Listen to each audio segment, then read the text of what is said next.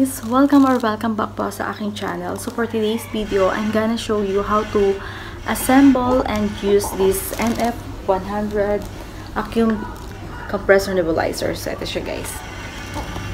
I'm gonna show you how to assemble this one. So assemble and use. So let's go guys! Moshi Moshi!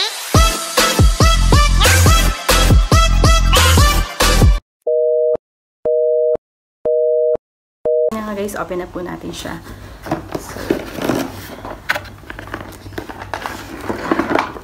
Yung pinaka ano niya, mother niya. Ito yung power cord niya guys. Power cord niya. Ito yung power switch. Ayan. Okay. Ito yung air intake niya guys. And this one, makikita nyo, ito yung ah, ano niya guys, um, air outlet niya. Ayan. Then, sa loob niya, ito naman yung air filter. So, ayan siya, guys. Then, this one is um, air tube uh, plug slot. Ayan po. Air tube plug slot. So, cover lang natin to. Okay. Ito yung air tube niya, guys. So, itong air tube na to, i-connect lang natin dito sa air tube plug, ano, plug slot niya, guys. So, ganyan po. Push lang natin siya na maigi. Okay. Then, after that, ito. Yan, nebulizer kit. Then, ito. Ito yung nozzle niya. So, ipupush lang natin siya dito. Paloob. By the way, guys, dito natin nilalagay yung bintulin sa loob nito. So, open natin siya. Nilalagay natin yung bintulin tsaka i-sterilize. Sterilize distilled water niya dito. So, ganyan po. So, i-connect lang natin itong air outlet niya dito sa nakikita po natin yan. Okay, connect lang natin siya dito guys sa maigi. Okay. So, ito yung air tube niya. Connect nyo lang siya dito. Okay. May, meron kasi nito guys na pang child at pang adult. So, ang gagamitin natin is pang child since na pang baby yung paggagamitan ko nito guys. So, ayan. Ito yung niya, child's mask niya. Meron din itong guys na mouthpiece. Pero, ito na yung ginamit ko yung child mask. Mas maganda. Mas madali kasi pag inano ko sa baby. So, i-connect mo lang siya dito guys. Connect mo lang siya dito sa uh, nebulizer kit niya. So, ganyan na siya. Connect mo lang na ganyan. Tsaka mo siya i-ano sa baby. So, kung maglalagay naman po tayo ng bintulin niya, at saka yung is, this, uh, sterilized distilled water niya, okay, remove ko lang to. Set aside muna natin. Then, ito. Ito siya, guys. Yung bintulin na gagamitin natin.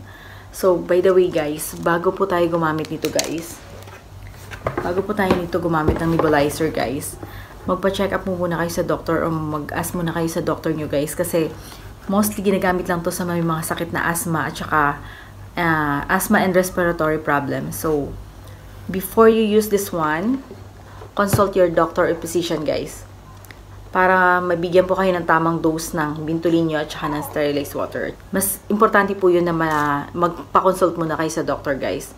Huwag po kayong basta-bastang gumamit ng hindi po kayo nagpapakonsulta sa doctor guys. So, yun lang po. So, ang paggagamitan ko is 3, 3 months. So, ang prescribed ng doctor is 0.4 dito. 0.4 na bintulin yung ilalagay ko, guys. So, ayan. Open ko lang siya. Then, push ko. So, 0.4.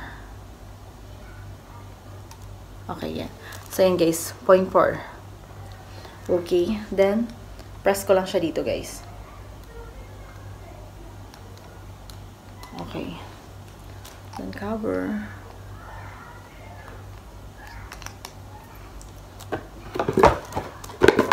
Then,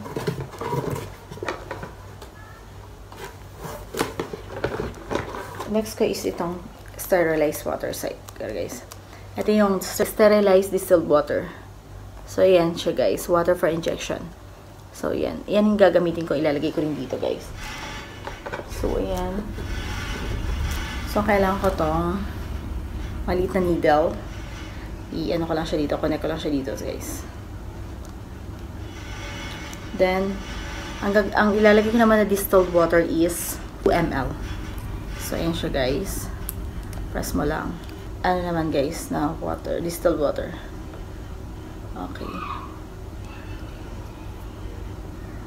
So, ganyan. Okay, kita niyo po.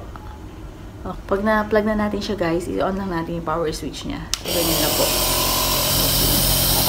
Saka natin siya ilalagay sa face ng baby. Ayan lang. So, ganyan lang siya guys. Gagawin natin siya. Dito siya guys ha.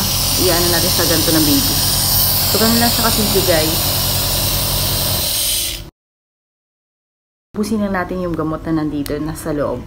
So, ganun lang siya kadali guys. I hope na may natutunan kayo and paalala ko po sa inyo, wag po kayong gagamit nito nang hindi po kayo nagpapakonsult sa doktor.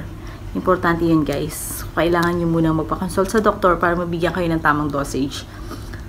Uh, that's all for today guys and thank you.